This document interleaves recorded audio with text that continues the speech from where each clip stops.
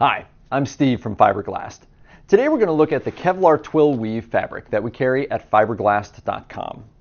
Composites grade Kevlar is a great alternative to other reinforcements like fiberglass or carbon fiber because it offers lightweight and excellent specific tensile strength along with a combined impact, abrasion, and heat resistance.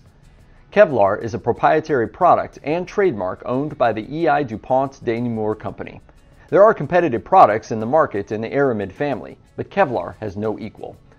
This Kevlar fabric, our number 2443, is a loose 2x2 twill weave which offers equal strength in both horizontal and vertical directions.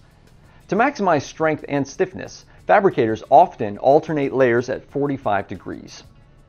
Fibre Glast only carries Kevlar 49 fabric. It's developed specifically for composite reinforcement or hard laminates and should be used with an epoxy resin like our System 2000, available at fibreglast.com. This 2x2 twill is often chosen for conformability to shapes. When combined with epoxy, it features great cosmetics and delivers parts that are especially impact resistant. While Kevlar is not suitable for applications that call for compressive strength, its combined tensile strength and impact resistance make it the ideal reinforcement for many marine applications, including kayaks. Kevlar requires special handling considerations. It's difficult to sand, machine, and even cut. It usually requires a dedicated pair of serrated scissors. Our Kevlar is not meant to be sewn, and Kevlar in textile form should be stored away from all UV light to preserve its properties.